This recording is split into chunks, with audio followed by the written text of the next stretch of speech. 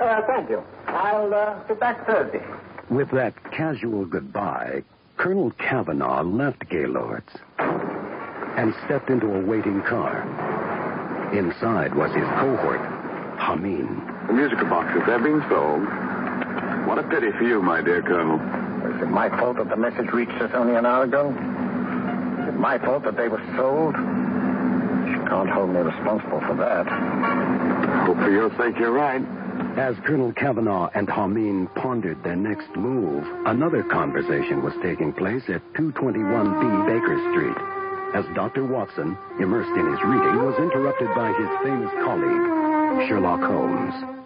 I take it the new issue of the Strand magazine is out, containing another of your slightly lurid tales. Indeed. What do you call this one? I call it A Scandal in Bohemia. Not a bad title, eh? Hmm. If you must record my exploits, I do wish you'd put less emphasis on the melodramatic and more on the intellectual issues involved. What do you mean by that? Well, I do hope you've given uh, the woman a soul. She had one, you know. By the woman, I suppose you mean Irene Adler. Yes. I shall always remember her as the woman. As the two colleagues spoke, Julian Emery, a boyhood chum of Dr. Watson's, climbed the stairs to pay a friendly visit. Well? Eh? Hi, Inky. That's the old boy. How are you? How are you, old boy? I haven't seen you for years. I want you to meet my old friend Sherlock Holmes. Holmes, this is stinky. In other words, uh, uh, Julian Emery. How do you do, Mr. Emery? Watson has often spoken of you. Oh, did he?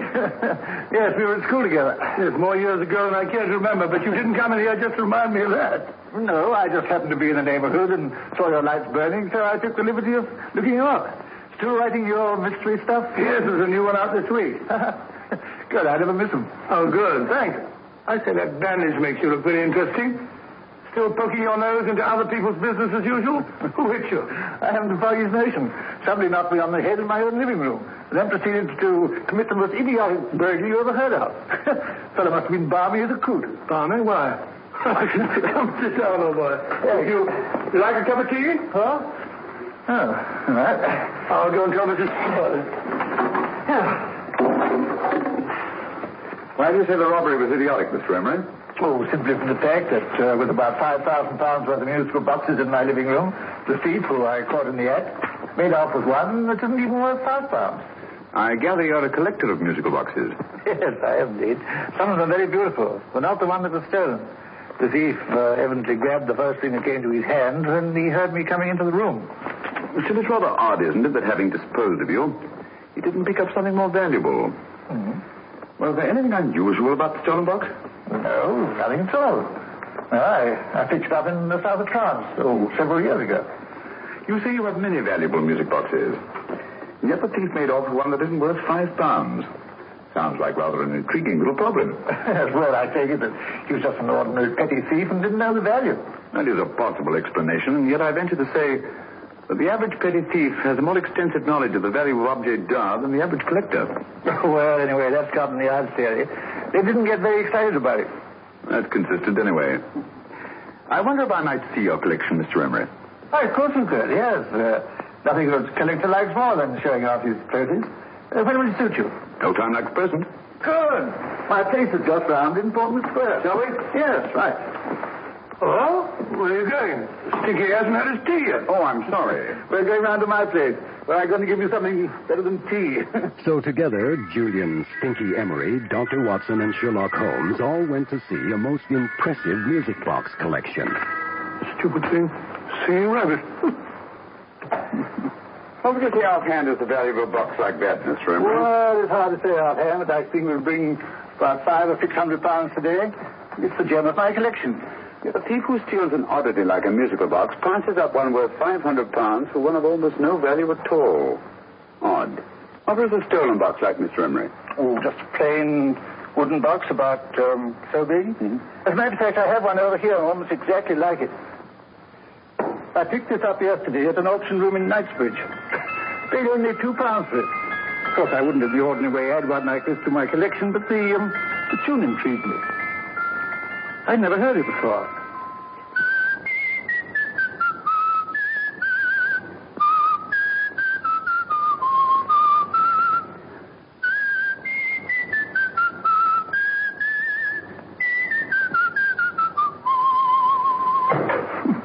You have a remarkable ear for music, Holmes. Rather an unusual melody. Sit down, Good. Thanks. You, uh, say you bought that box at an auction sale yesterday. Yes, the Gaylord auction rooms in uh, Knightsbridge. At what time was the robbery committed? Oh, about uh, 3 o'clock this morning.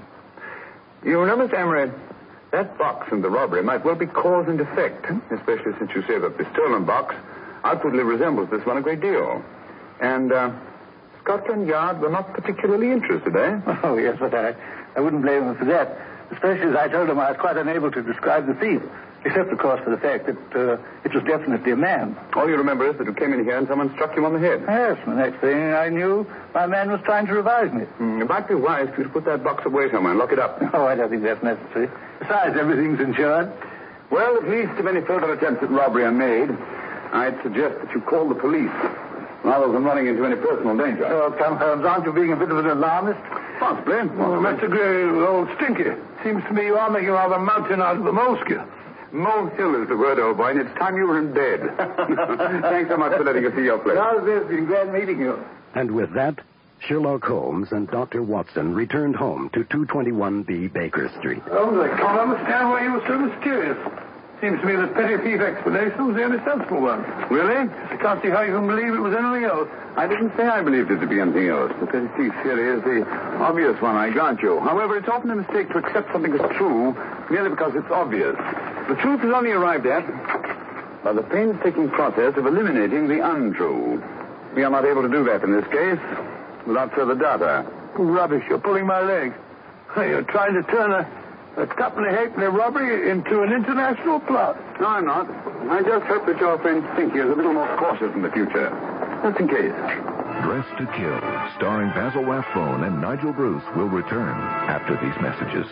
It's time again for the NordicTrack Ski Challenge. Today our challenger is the ever popular exercise bicycle. This is quite a matchup, folks. After all, the bicycle offers you a great easy on the knees workout, same as the NordicTrack Ski, but only one machine can hold the title, the world's best aerobic exerciser. And we're here to find out which one, with a little help from a 280 calorie carrot muffin.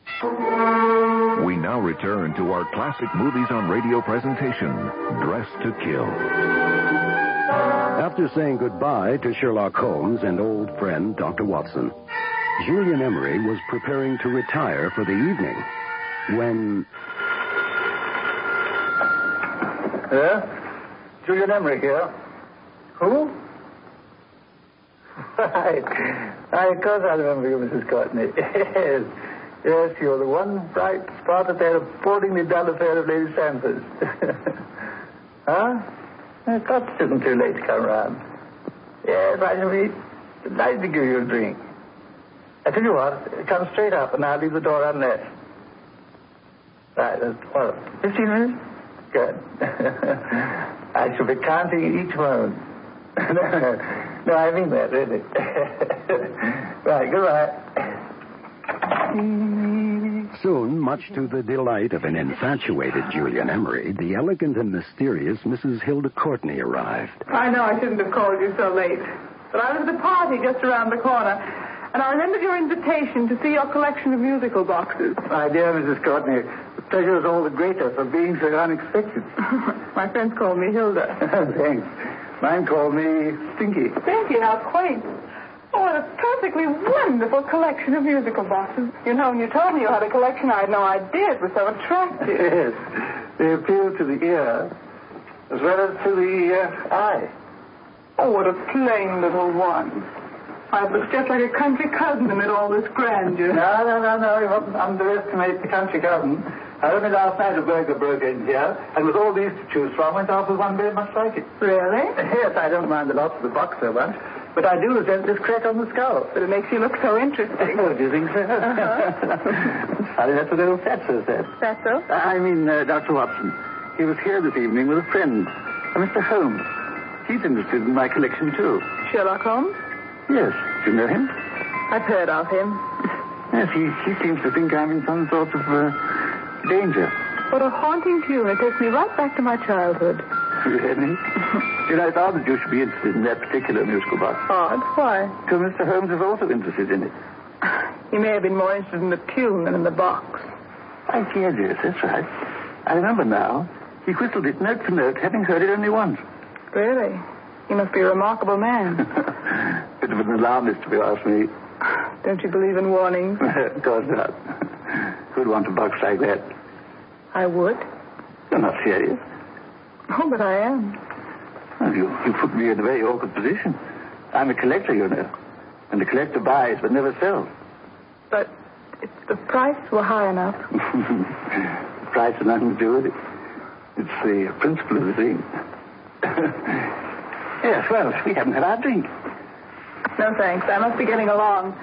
Not you, Annie. I'm afraid so. You're not walking out on me, are you? My reputation. Stinky. I say, you know, you are an attractive woman. Thanks. Silently, a figure emerged from the shadows, cradling a dagger in the palm of his meaty hand. It was Hameen. With a deft flick of the wrist, the knife slammed with deadly accuracy into the back of Julian Emery.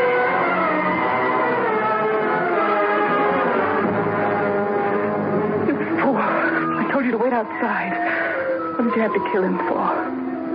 All I had to do was walk out with this. He held you in his arms. Don't touch him. Don't touch anything.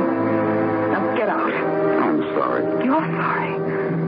What about me? This is murder. What about Scotland Yard? What about Sherlock Holmes?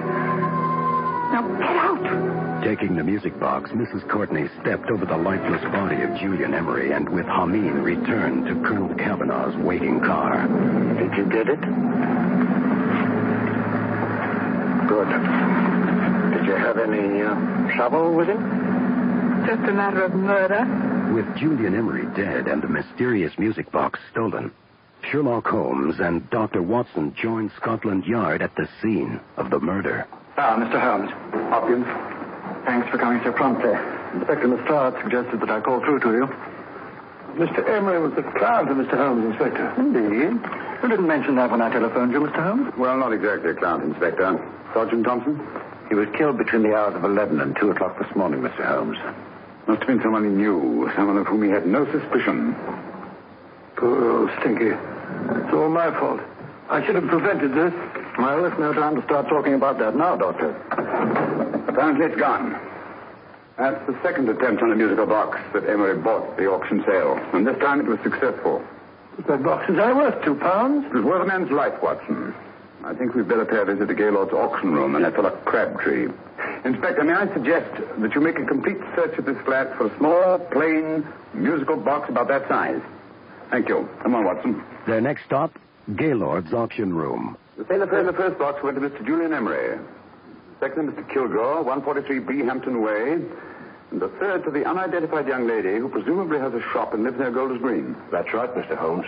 Isn't it rather strange, Mr. Crabtree, that you should have had three identical musical boxes all playing the same tune? Where'd they come from? Dartmoor Prison. Dartmoor? Yeah, we get a regular shipment from there every month. The inmates manufacture them. Well, they make all kinds of things, you know, pipe racks, waste paper baskets, musical boxes. Did you happen to notice if anyone showed any particular interest during the auction in the purchases of these three boxes?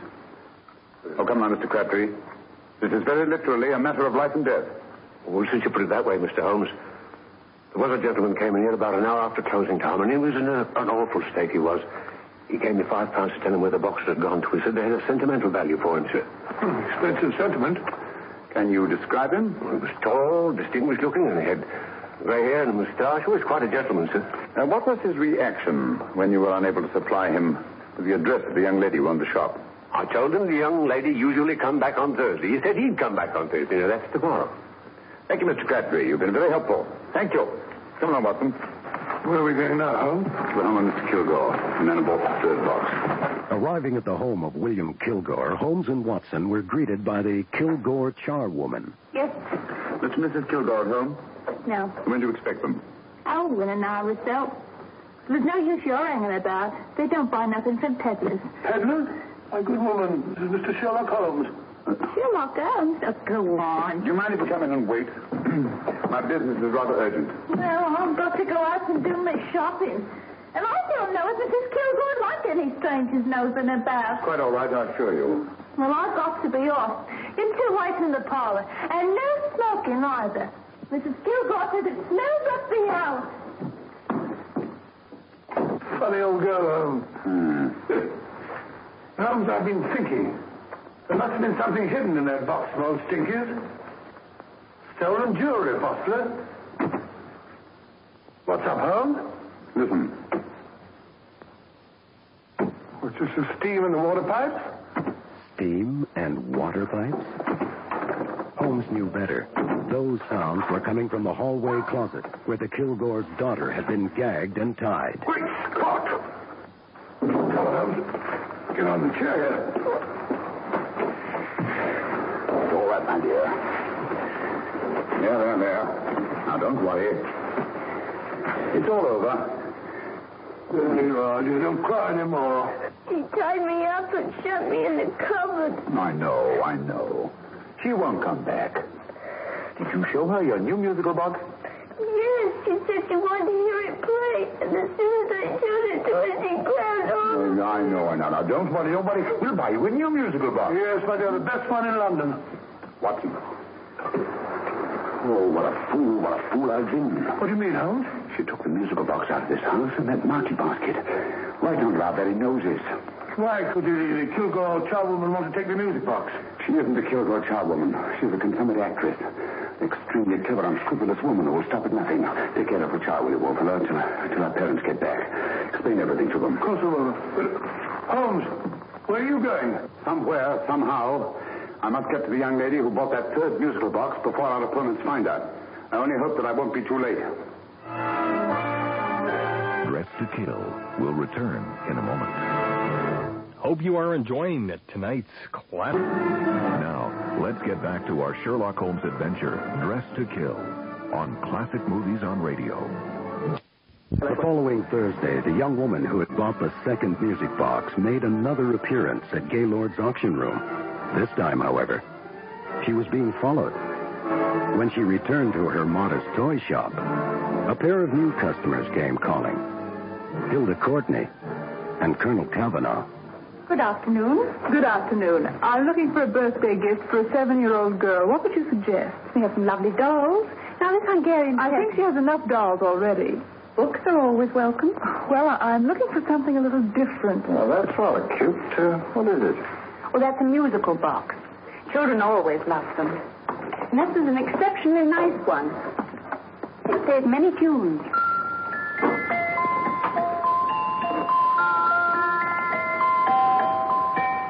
Have you any others? Yes. If you'll just get this way. I have only two left. How nice.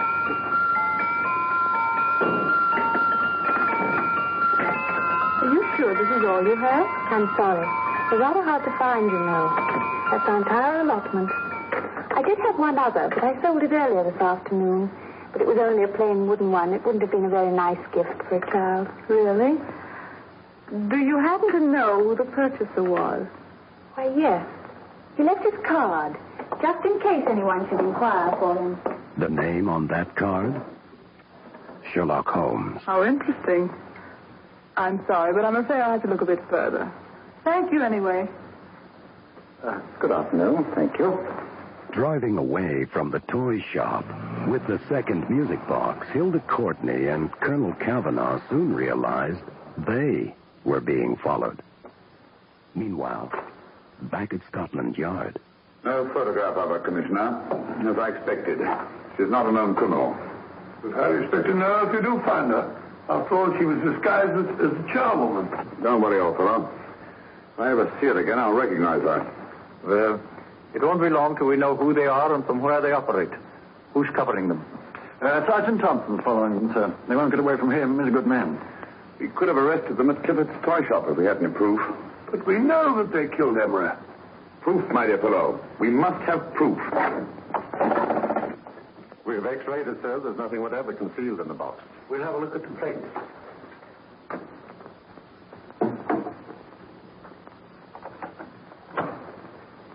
Hmm. There must be some clue. And it's probably so obvious that we've all overlooked it. Seems to me we're up against a bunch of lunatics. Not lunatics, my dear fellow. Extremely astute, cold-blooded murderers. What could these little musical boxes have in them that's so important? Don't forget they were made in Dartmoor prison.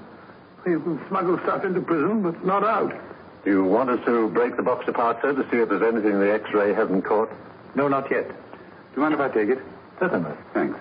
The governor of Dartmoor Prison informed us, sir, in answer to Mr. Holmes' uh, question, that all three musical boxes were made by the same convict, John Davidson, serving a seven-year term, sir. Davidson, the Bank of England plate. That'll be all. Yes, sir. Now we're getting somewhere. Wait a minute. How did you know about the plate, Mr. Holmes? I'm a student of crime, Inspector. I make it my business to know about such things. And when the name of Davidson was mentioned, Oh, who is this fellow Davidson? As long as Mr. Holmes seems to know all about it already, I suppose there's no harm in telling you. Uh, two years ago in London, there occurred a robbery of such tremendous importance, uh, although the stolen articles themselves have no intrinsic value whatsoever, that the Home Secretary was instrumental in seeing that not a word of it appeared in any newspaper. But you never told me anything about this, Holmes. you were away at the time. Articles of no intrinsic value and yet of such importance. I don't understand. Davidson was apprehended within 15 minutes of committing the theft. But by that time, he'd hidden the articles in question and they've yet to be found. Before going further, Dr. Watson, I must inform you that this matter's not to be mentioned outside of this room. Of course not. Do I look like a man who gossip? Let's not go into that now, old fellow, shall we? Davidson had been employed for years in a position of extreme trust by the engraving department of the Bank of England. The articles he stole were nothing less than a complete duplicate set of plates for printing five-pound notes. What? The Bank of England's own plates? Precisely. And with those plates, a gang of crooks could flood England with five-pound notes.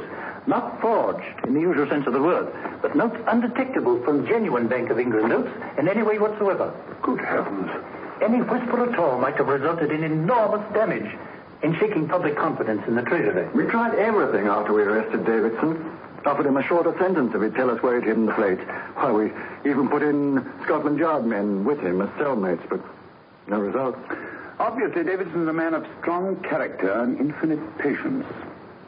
Yet suddenly he feels impelled to smuggle out the secret of the hiding place of the plates to his confederates. Why? I don't understand, Mr. Holmes. Well, for example, has the Bank of England made any plans to radically change the design of the five-pound note so that in, say, uh, seven years from now, notes made from the stolen plates would be worthless? Confidentially, Mr. Holmes, such a move was discussed.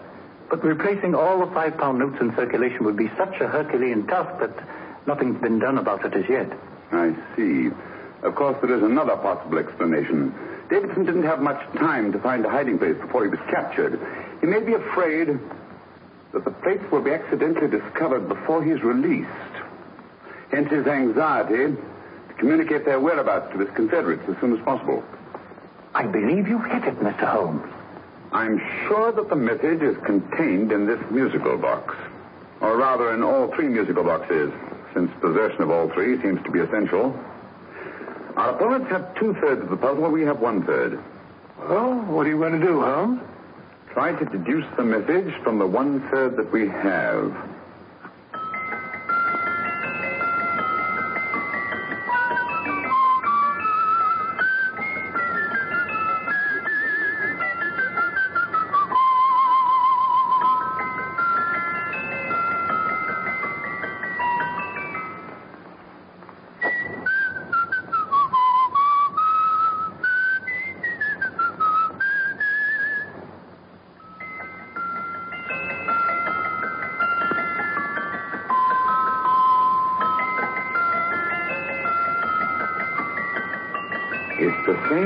Same the one played by Emery's musical box. And yet it's different. Sounds the same to me. The tune. Somehow the tune is the key to the mystery. It must be the tune. Otherwise, why use three musical boxes to convey the message? Why not collar boxes or shoe boxes? Yes? It's for you, Inspector. Oh, thank you, sir. Inspector Hopkins speaking. What? Where? Golders Green Station reports they've just found Sergeant Thompson's body. From the tire marks on his clothes, he was apparently run over by a taxi. What an unfortunate accident. Not an accident, my dear fellow. I'm afraid it's murder. Dressed to Kill, starring Basil Rathbone and Nigel Bruce, will return after these messages.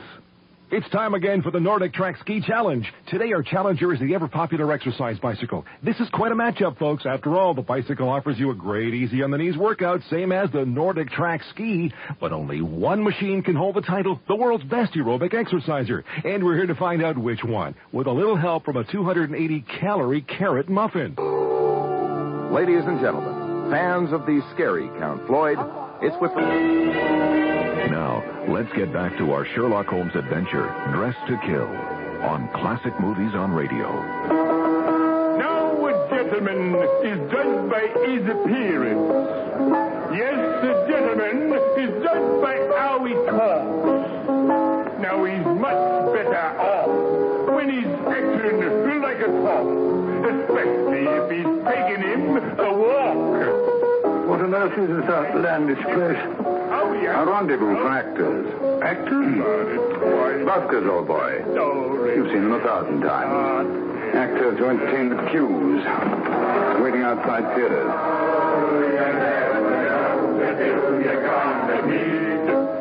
When you're walking down the busy London street,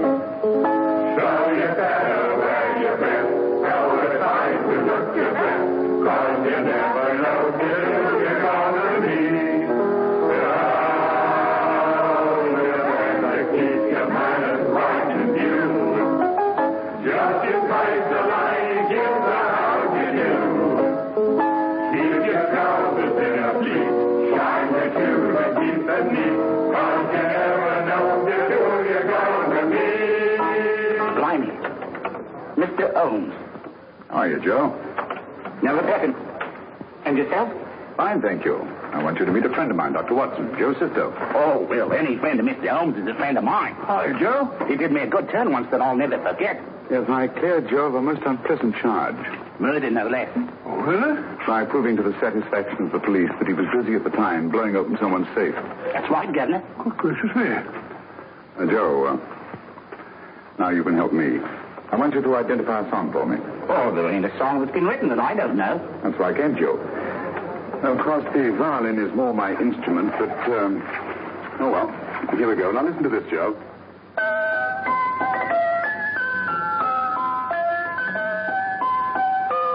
Wait a minute. You're playing that wrong. That should be E natural, not E flat. You know the song? Oh, yes. It's an old Australian song called uh, The Swag Man. But you're playing it all wrong. That's what I hoped you'd say. Now listen again, Joe.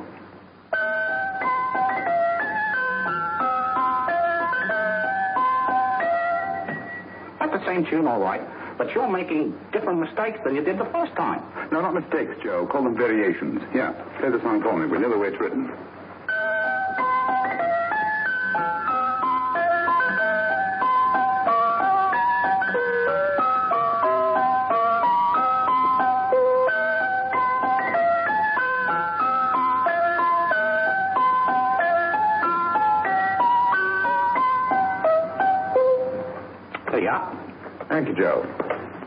Mean, Holmes? You onto something? Perhaps. I don't know yet. It's probably a code of some sort.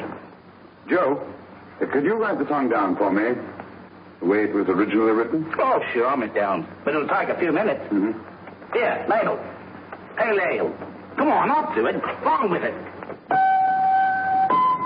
After obtaining the notes and lyrics to the music box's melody, Holmes and Watson returned home to 221B Baker Street. Well, obviously it isn't the lyrics.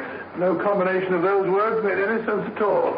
The variations in the way Emery's musical box played the tune are different from the variations in the one we have. You sure? Quite.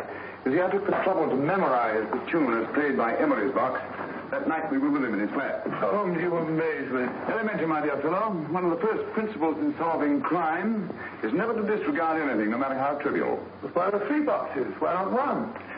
Because the message was obviously too long to be conveyed by any one variation. Then there's the third box, the one that woman took from the Kilgores. That contains yet another set of variations.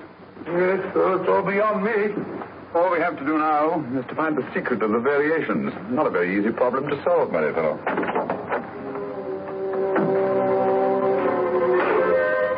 Hello. What's up? Their offices had been ransacked. We've had company.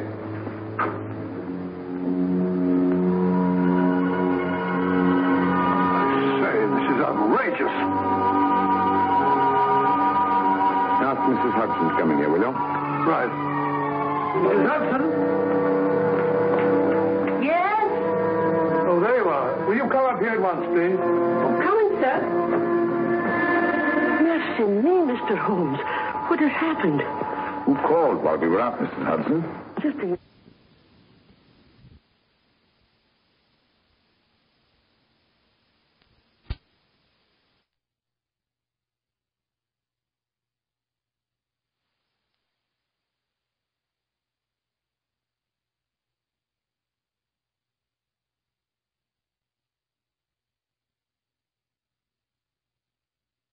The young lady, the one who said you wanted her to wait for you, and a nice looking old gentleman with Our her. friends again, Watson. Friends? What did the young lady look like? Oh, I, I couldn't see her face. She had a, a heavy black veil on. But she had such a nice way with her. Oh, I, I'm sorry, Mr. Holmes, if I've done anything wrong. But you did say I should always let clients come in and wait for you. Don't worry, Mrs. Hudson. Don't worry. You had no way of knowing. It's quite all right. Quite all right. Now, don't worry, Mrs. Hudson. Don't worry. Well, where on earth's the musical box? They didn't get it. Didn't Get it? Where is it? It's in your hand. Huh? In the biscuit jar. Take the biscuits off the top. Now put your hand inside, and you'll find the music box. Well done, Holmes. Well done. Amazing. As Watson listened to the tinkly sounds of the music box, Holmes was looking for clues. And he found one in the form of the cigarette carelessly left behind. A night of sleepless pondering followed. I say, Holmes, What? it's morning. Allow me to congratulate you on a brilliant bit of deduction. It's not a transposition, not a polygraph transposition, not a trigraph, nor any known form of decoding. Uh, How about the Morse code? Have you tried that? Yes, at about 3 o'clock this morning. I'm sorry, old man. I was going to try to help.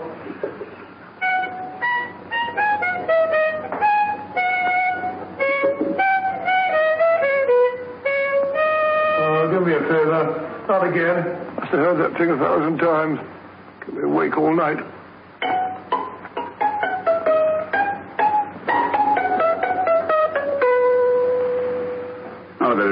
Is a I grant you. You know perfectly well I don't know one tune from the other. When I was a kid, my people tried to have me taught the piano. I've always felt sorry for that old teacher of mine. The poor old girl finally reached the point of numbering the keys for me. One, two, three, four. Even then, I, I never progressed beyond the... Numbering the keys, Watson. The 19th key of the keyboard is the 19th letter of the alphabet. S. Here. Mark it down when I give it to you, old fellow, will you? The first altered note. Write S first. Now, the eighth uh, key is H. The fifth key, E. The twelfth key, L. The sixth key, F. S-H-E-L-F. Shelf. Your piano lessons were not in vain, old fellow. You've solved it. Thank you. Once again, it was back to Scotland Yard. We now have two thirds of the message behind books. Third shelf, secretary, Dr. S.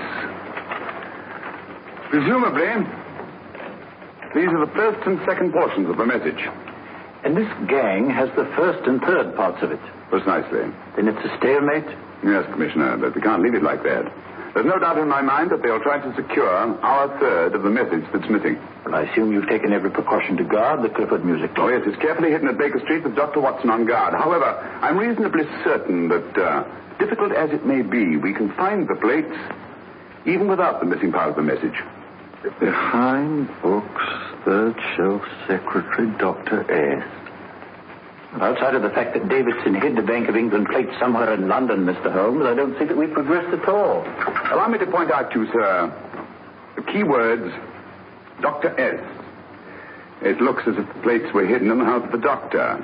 Whether S stands for his first or last initial remains to be determined by a process of elimination. Well, there must be 10,000 doctors in London with S for a first or last initial. Precisely.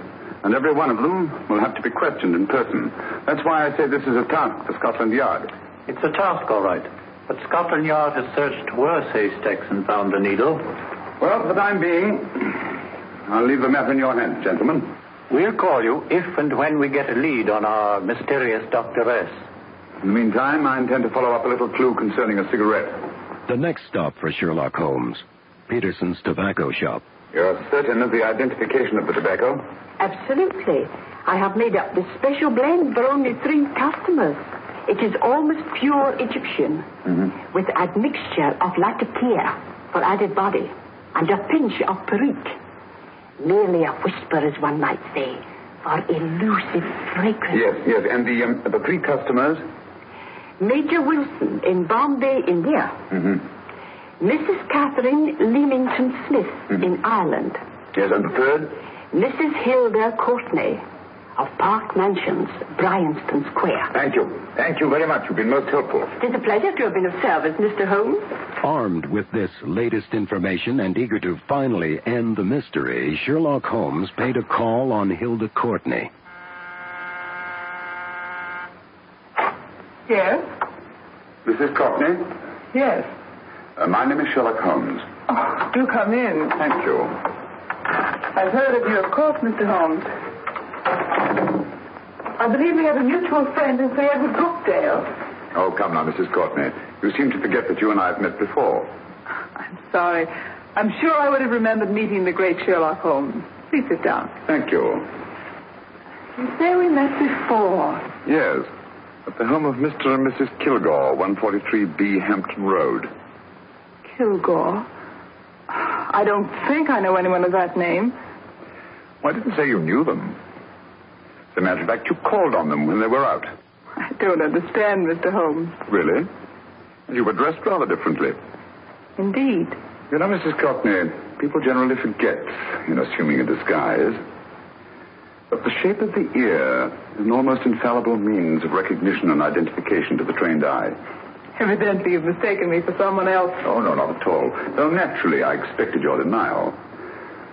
But when you paid your visit to my rooms at Baker Street, you carelessly left behind another identification. You see, Mr. Holmes, to catch one as clever as you, I had to use a very special lure. I knew you'd be unable to resist the bait of my cigarette, having read with great interest your monograph on the ashes of 140 different varieties of tobacco. And that's when Colonel Cavanaugh appeared, placing a revolver square into the back of Sherlock Holmes. I should advise you not to move, Mr. Holmes. I must congratulate you on your ingenuity, Mrs. Courtney. It was indeed a brilliantly designed trap. Thank you, Mr. Holmes. Praise from a master is indeed gratifying. I shall always cherish the memory of your flattering words. Memory? Precisely. I'm afraid these gentlemen have a most regrettable task to perform. Unless, of course, you care to turn over the missing musical box with your pledge to take no action against us in the future. I'm afraid that will be impossible. I thought that would be your answer. Hamid, You realize, Mr. Holmes, that your demise will not take place here. The uh, corpus delicti, you know. Well, naturally. Shall we go? So fearfully awkward having a dead body lying about. Don't you agree, Mr. Holmes? Another dead body should weigh too heavily on your conscience, Mrs. Courtney. His hands bound, Holmes was led away by Colonel Cavanaugh and Hameen on his way to certain death. Dressed to Kill will return in a moment. Four ninety nine. Now, let's get back to our Sherlock Holmes adventure, Dressed to Kill, on Classic Movies on Radio. Taken to an abandoned garage, Sherlock Holmes was left manacled and gagged, dangling from a meat hook amidst a cloud of deadly gas. His demise would be quick and painless. But there was still life in the old boy yet. Having cleverly pickpocketed the handcuff keys from the jacket of Colonel Cavanaugh, Holmes quickly worked to free himself. Meanwhile, a heavily disguised Hilda Courtney paid a visit to the unsuspecting Dr. Watson. Good afternoon. Mr. Sherlock Holmes? No, I'm Dr. Watson. Oh, of course, Dr. Watson. How stupid of me. Oh, it's all stupid of me. Won't you come in? Well, I, I really came to see Mr. Holmes. Oh, I'm afraid he's out. I don't know when he'll be back. Perhaps there's something I can do. My only sister has disappeared. and the local police seem utterly unable to find her. She's only 17, Dr. Watson, and until she disappeared last Thursday, she seemed to be in the best of spirits. Well, possibly a, a romantic entanglement? Oh, no, no, nothing of the sort. She left no note, didn't even pack a bag, no explanation. She just started to walk to the village from our house in broad daylight and simply vanished from the face of the earth. Oh, there, there, there, there. Might I have a glass of water? As an enamored Dr. Watson leaves to get the water, Hilda Courtney places a smoke bomb in the cupboard. There you are, my dear. Thank you, Dr. Watson. No, no, no, you're not to cry anymore. You must pull yourself together. Oh, I feel much better already knowing that you're going to help me. Oh, Dr. Watson, look! Good heavens!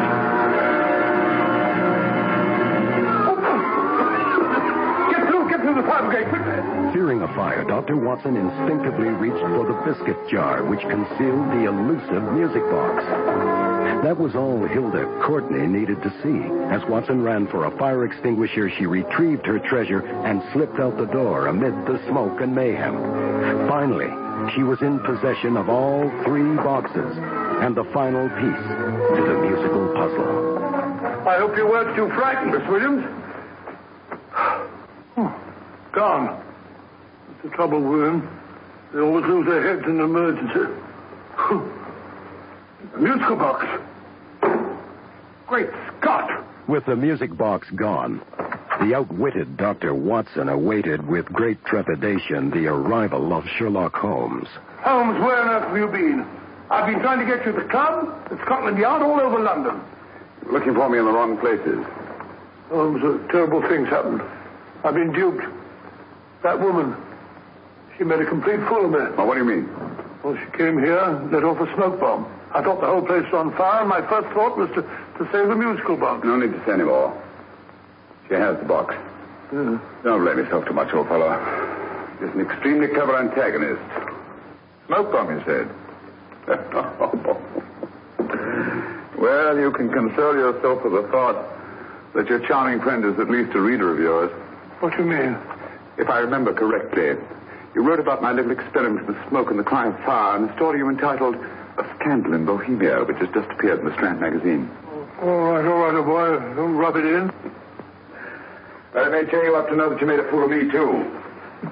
Ah, that cigarette stub was planted here for one express purpose.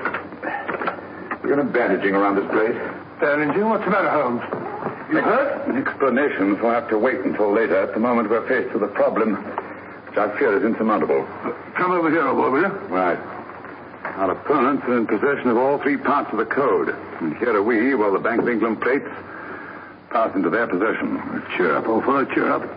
As Dr. Samuel Johnson once said, there's no problem the mind of man can set that the mind of man cannot solve.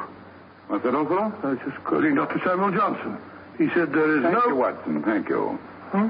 The scene? The museum home of Dr. Samuel Johnson, the famous author and lexicographer of the 1700s. Among the enthralled tour group, a trio of interested spectators Hilda Courtney, Colonel Cavanaugh, and Hameen. Leaving the front reception room, we come into the main hall, where Dr. Johnson was in the habit of passing through to have his meager meals in the dining room opposite, in company with his friend and biographer, James Boswell. We will now pass up the stairway, which remains in its natural wood finish.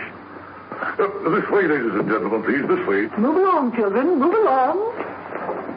The secretary's not on this floor. Patience, Hamid. I've a feeling. My dear Colonel, with Sherlock Holmes out of the way, what could go wrong?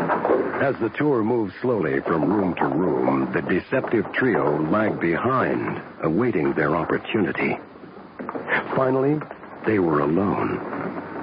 Cavanaugh took out his keys and was able to open the glass doors. Your keys. Armed with the music box's secret code, they knew they'd find the missing plates. A few scant seconds, and the fortune would be theirs.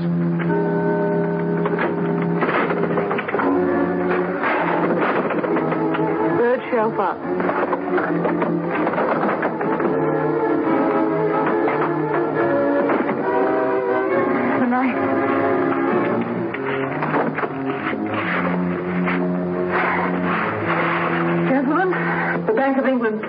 But there was one more visitor on the tour that day. Well, Mr. Courtney, so we meet again. Sherlock Holmes pointed his gun at the trio. No, I shouldn't do that if I were you, Colonel Cavanaugh. I must congratulate you, Mr. Holmes. You're far more clever than I thought. Thank you, Mrs. Courtney. Praise from you is indeed gratifying. I shall always cherish the memory of your flattering words. Memory? Oh, thank you. And now I have a most regrettable task to perform. With a quick, skilled movement, Hameen reached for his knife, the same deadly dagger that had killed Julian Emery several days before. But Sherlock Holmes was not about to meet the same ominous fate. The shot immediately summoned Dr. Watson and two inspectors from Scotland Yard positioned nearby. Holmes! Coming, Holmes! Holmes! You all right? Perfectly, thank you, old fellow, but I think this gentleman on the floor requires some medical attention. We must see that he looks his best, you know, when he's hanged. Take them in charge. A brilliant antagonist. It's a pity eh, her talents were so misdirected. Will you see that these plates are returned to the Bank of England, Inspector? I still don't understand how you solved it, Mr. Holmes. It's entirely due to Dr. Watson. He gave me the clue when he mentioned Dr. Samuel Johnson. Well, congratulations, Doctor. Oh, thank you, Inspector. I don't think I'd have done it entirely without Mr. Holmes' help, you know.